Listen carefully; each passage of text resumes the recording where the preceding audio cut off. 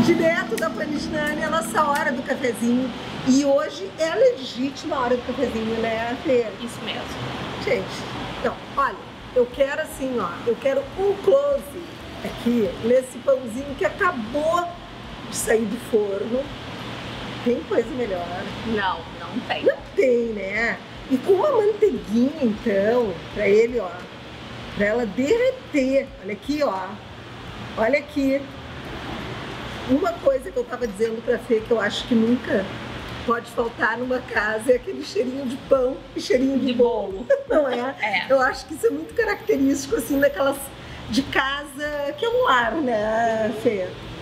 Vamos falar então do teu bolo mármore enquanto eu como meu cacetinho. Esse aqui é um bolo mármore caseiro. Olha o tamanho dele, gente. Ele tá lindo. Lindo. Se quiser, a gente serve com sorvete e com calda de chocolate Sério? também. Sério. Não. A gente pensa que não pode ficar melhor e fica.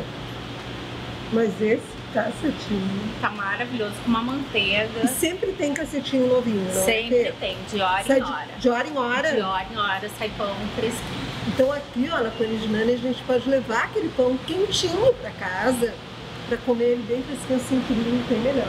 Não, tem não tem. Não tem. Eu não sei se eu vou ter que deixar o meu, bolo, meu pão de lado pra experimentar esse bolo. Quem sabe tu come o bolo, Fé. Boa ideia.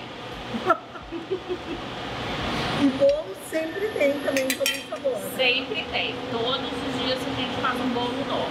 Não, vocês viram a economia dela na fatia? Imagina se sou eu, Fê.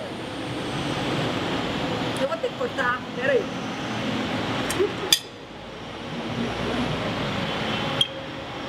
Muito bom. O que tu acha? Agora sim. Um bolo mármore tem seu valor, tá? Tem. A mesma coisa que o nosso bolo de iogurte, que a gente faz com caldas diferentes. Gostoso, né?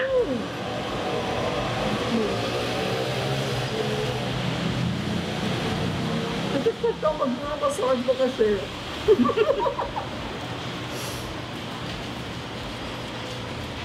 e o melhor, gente, é que aqui na Panigilane tem esses lugares na rua que a gente fica vendo o movimento a 24 de outubro.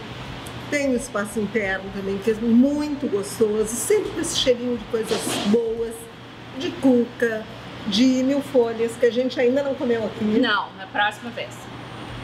semana que vem. Porque a mil folhas aqui da Panidinane, ela é famosa, né, Fê?